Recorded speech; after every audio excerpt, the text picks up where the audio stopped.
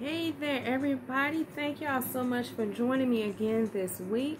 I want to say thank you and welcome. If you are new to this platform, I would like to introduce myself. My name is Elder LaToya Burns Conwell, and I am the founder of Christian Warriors United Ministries. All right, so on last week, I went over a few things that God has showed me um, concerning as far as us being prepared. This week, what the Lord was laying on my heart was to go a little bit more in depth on each one of those things. So we know that one of the things we were talking about was our emotional well-being, being right in the mind. Another thing that we were talking about was our health. You know I'm saying? Finding the things that we can fix ourselves. Another thing was growing in our walk with God. My notebook almost fell down. Growing in our walk with God. And lastly was examining our finances. Examining our finances. All right, so we're going to go ahead and get jump started right now. Okay, so the thing that the Lord wanted me to cover today um, was pertaining to our emotional well-being, but more specifically, reclaiming our peace. Reclaiming our peace. So I'm not going to hold you long, but I will give you some scriptures of reference along the way so that way you can study in your own time and go a little bit more deeper. Okay? All right. So, starting out, we're going to talk about peace. What is peace? Okay? Peace is freedom from disturbance. Freedom from disturbance. A state or a period, specific amount of time, in which there is no war or a war has ended. Okay? Also, harmony in the absence of hostility and violence. In the Bible, the Hebrew word for peace is shalom. Okay? Which is the equivalent in definition, when you break it down in definition, uh, is totality or completeness, fulfillment, and wholeness. Ah, that's deep right there. Fulfillment and wholeness, totality or completeness. All right. So, let's go to the first scripture of reference, which is going to be St. John, the 16th chapter, verse 33. And it reads, These things I have spoken to you, that in me you may have peace.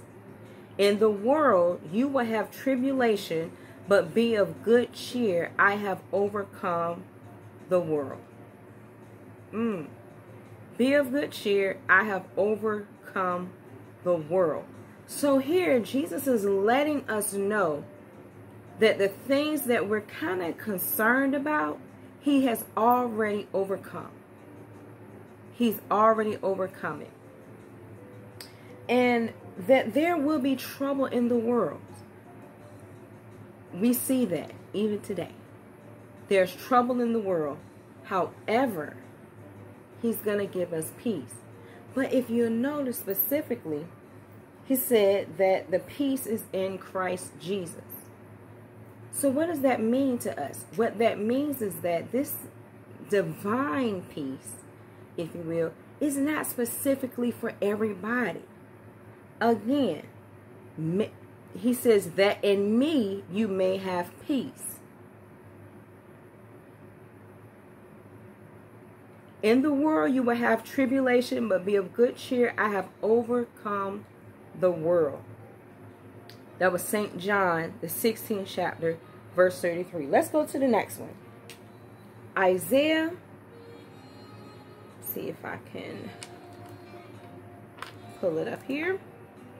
Isaiah 53 and 5. Isaiah 53 and 5. Now this right here is, this goes a little deep. Okay. I've heard these scriptures all my life, but it's something when, when the Holy Spirit gives you deeper revelations, it's amazing. Okay. Isaiah 53 and 5 says, But he was wounded for our transgressions. He was bruised for our iniquities. The chastisement for our peace was upon him, and by his stripes we are healed. Let me back up a little bit. I've heard the scripture said so many times, and I think because, you know, when some people say it repetitiously, sometimes things get lost in translation, sometimes we tweak words. I always thought it said the chastisement of our peace was upon him. There's a difference between the word for and of. The chastisement for our peace. Let me tell you what the, the, the, revelation that the Holy Spirit gave me on that. God said what that tells us is that we have peace, the human peace, but then there's divine peace. Okay? It says a chastisement for our peace. Y'all, say that again. The chastisement for our peace was upon him. Now, that goes a little bit deeper. See, because see, what that means is this is not for everybody. We know God rains on the just as well as the unjust. But it's something about that divine peace. That divine peace is more specific for the believers. Okay? Proverbs 12 and 20. Proverbs, the 12th chapter. Uh, yes, and the and verse 20. Talk about planning to have peace. Y'all, I've never, whew, I'm telling y'all, when God gave this to me, this is different. Okay? Now check this out. Deceit is in the heart of those who devise evil. Those who plan evil. Who counsel evil. But counselors of peace have joy. Counselors of peace. Mm. So I had to think about that. Counselors of peace. When you think about what is a counselor, I know I'm a pastoral counselor. I'm actually in school now to become a Christian counselor. And so when we talk about being a counselor, that means someone who is able to counsel others.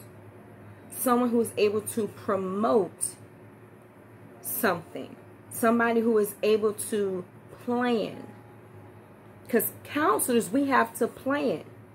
First, we got to hear what the situation is and especially a Christian counselor or a pastoral counselor, we hear what the problem is and we go to God about it. Okay, God, we need strategies. We need a plan in place to help eradicate this situation. Okay? So it's very important when you think about it, a counselor of peace has joy. So that means that you have to promote it. That means you have to plan ahead. I'm going to have I'm going to have peace. That is what I want to do. Have peace. Amen. Amen. Amen. We had to get our lighting a little bit adjusted there and uh, switch cameras. So we do apologize for that, for the glitch there. But let's get back to it.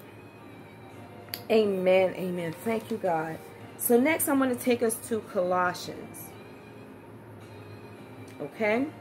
Colossians, the second chapter. And you know what? I have up here verse 10, but I think, if I'm not mistaken, I'm going to go up to verse 6. So I'm going to see if my memory serves me correctly. All right. And it says, As you therefore have received Christ Jesus the Lord, so walk in him. Okay?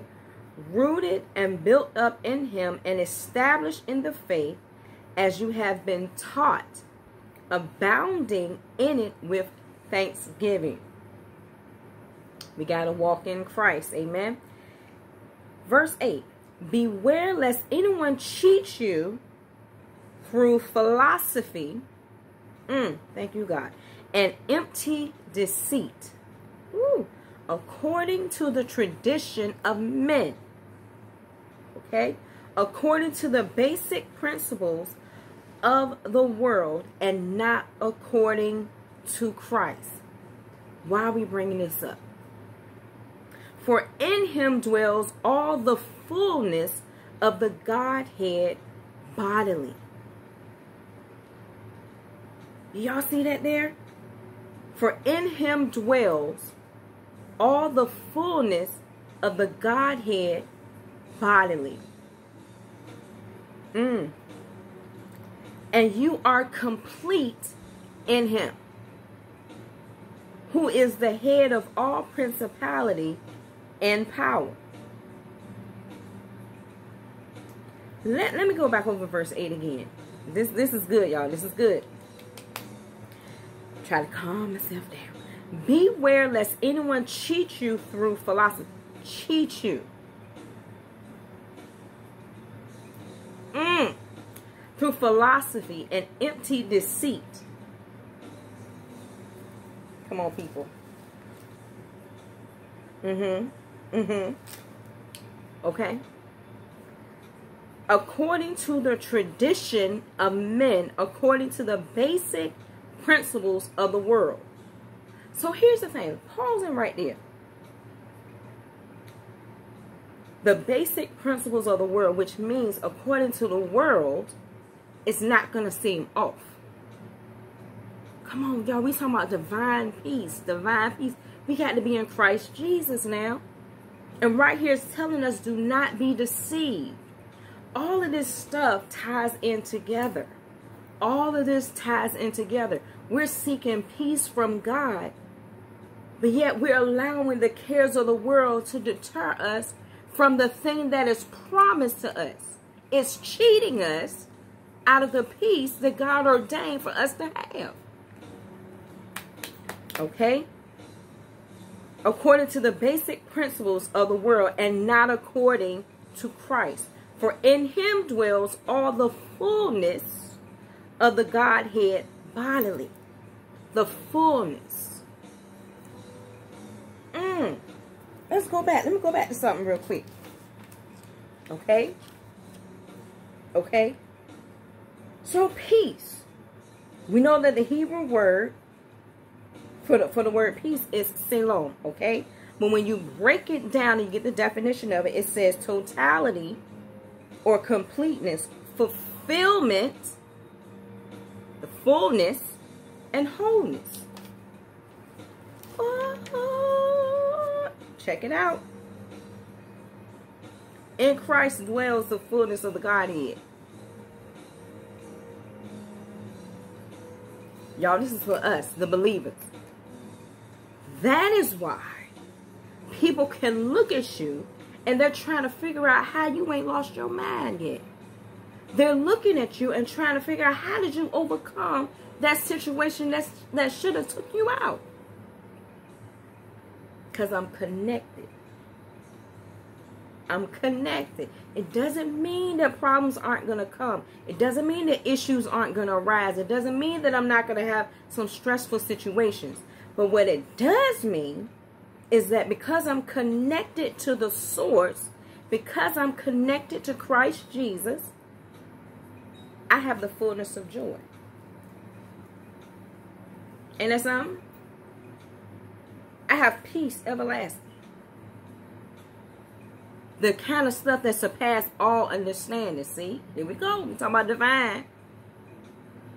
The human mind can't comprehend all of the divinity. We can't comprehend all of it. So we got peace everlasting. Come on, somebody. Check out verse 10. Here we go. You ready? Here we go. And you are complete in him. There's more to. That's there's more to it, but I gotta pause right there. Y'all better catch this. Mm you are complete in him who is the head of all principality and power. The head. Okay, now check this out. For we wrestle not against flesh and blood, but against what? Principalities. Oh, y'all. You know what? I'm going to get that for you. I'm going to get that for you. I'm going to get that for you right now. Y'all, this is good. This is good right here. This is good right here. I'm connected. Mm-hmm. Ephesians what? 6 and 12. For we do not wrestle against flesh and blood, but against principalities, against powers, against the rulers of the darkness of this age, okay, against spiritual hosts of wickedness in the heavenly places. This is what we're wrestling against. But check this out. You're connected to the source that is above all of that. Y'all, I'm getting excited. So, peace belongs to you. Because I'm connected. Because you're connected. Peace belongs to you. I don't care what your situation is looking like. I don't care what's going on in your home.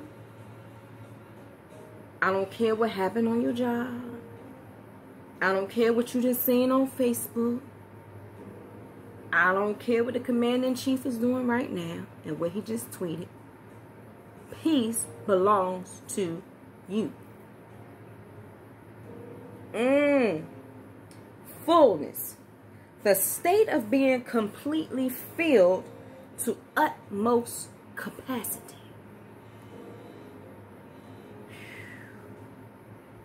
Y'all, come on now. My God the state of being filled to the utmost, to capacity.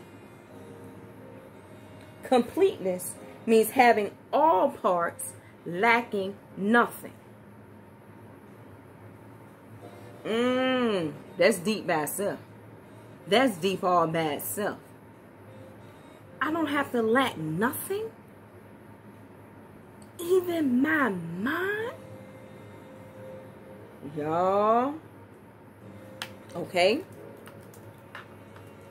Let's let's go to let's go to another verse. Okay.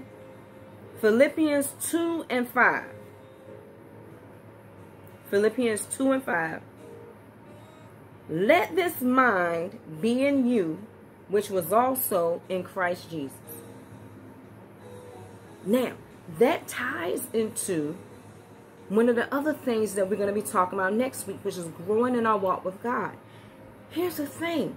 In order for us to grow in God, we have to understand who God is and we got to understand the attributes of Jesus Christ. How can my mind be like Christ if I don't fully understand who Christ is? You have people that have been in church for years And the only thing they can tell you is that, well, he preached. He was born of the Virgin Mary. He did some signs and wonders. He died. And then he came back for me and you.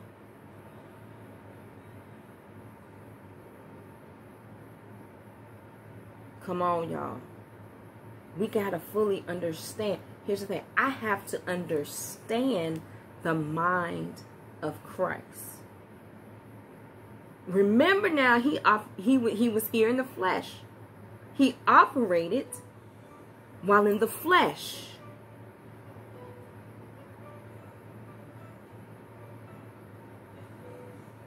Which means that he functioned the way we function. His feelings and his emotions were, were like our feelings and our emotions. Makes it a little bit more relatable when you think about it. Mm, mm, mm, mm. Now let's go to Philippians 3.15. And I promise y'all, I'm not going to hold you long. It says, Therefore, let us, as many as are mature, have this mind. Come on. And if in anything you think otherwise, God will reveal even this to you. Y'all, this is one of my favorite, oh this is one of my favorite scriptures of all time. I'm going to go up a little bit. Still in Philippians 3. Let's go. See, I believe it's verse 12. Not that I have already attained. Y'all, here we go. Here we go. Here we go. Check this out. Not that I have already attained or am already perfected. Come on. Come on, y'all. But I press on, y'all. You got to keep moving. God, give me peace so I can keep moving. Touch my mind, God, so I can keep moving. Okay? That I may lay hold of that for which Christ Jesus has also laid hold of me. I want to lay hold of the same thing that Christ. Okay? Brethren, verse 13, I do not count myself to have apprehended. But one thing I do. Mean, I ain't saying I'm all that. I ain't saying I'm, you know, I'm all high and mighty. I'm not saying I got it all together.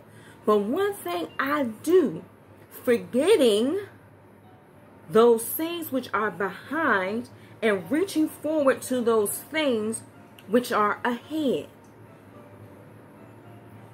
I'm going to bring something else to you. Thank you, Holy Ghost. You have to forgive yourself for not being where you thought you should be right now. That's another thing that's holding the believers back. That's something God had to deal with me on. Grief. When you hear the word grief, a lot of times people people think, okay, that somebody has died. But grief is an emotion. Sometimes you can have grief based on the fact that you feel that you have not arrived yet. You feel that I have not accomplished all that I should have accomplished by now. And so your mind is stuck with the shoulda, woulda, couldas, and for some reason I didn't, and it's keeping you from being able to move forward. I command peace for you right now. I got to let that stuff go. None of this caught God by surprise.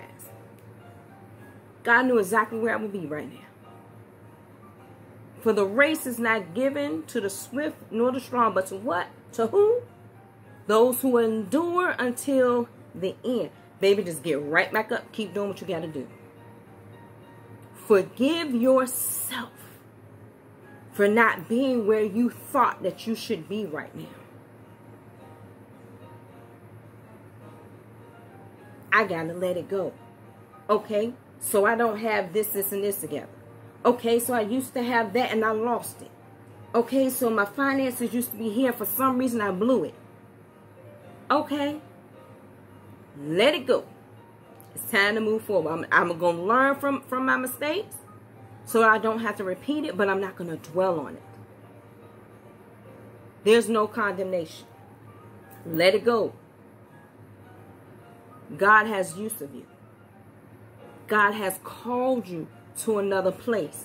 And if you keep dwelling in the same thing, you cannot go to the very next level. Here's the problem with that. Here's the thing. And I've spoken this one time before, so it may sound familiar to some of y'all.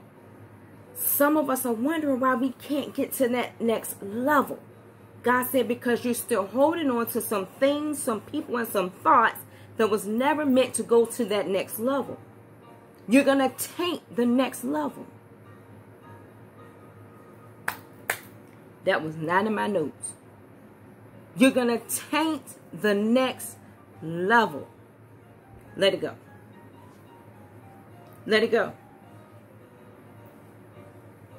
God, I don't understand. God, I feel so overwhelmed. That's first things first, forgive yourself. That's first thing you got to do. Forgive yourself. Learn from it so you ain't got to repeat it. Second thing, forgive other people. You got to forgive other people. It's so hard. I asked God one time, I said, God, how do I know that I truly have forgiven somebody? God said, when you can pray for their success. If somebody do you dirt ball, as we used to say, If you do me dirt ball, I'm not wishing the best for you. I might say, Lord, Holy Ghost, I need you to do this, this, and this to them. I'm going to offer you some suggestions, God, of what you can do. Mm-mm. Mm-mm. When you can pray for that person's well-being, you got it. That don't mean you forget. That don't mean you forget. That just mean I forgive. I have to have the mind of Christ. I have to be able to move on. The next level, it's required of me to have a clear mind. I have to have a clear mind. Going forward, I got to have a clear mind. Amen? Amen. I'm going to let it go right there. Next, next week, we're going to talk about growing in our walk with God. Understanding who God is. Understanding our purpose.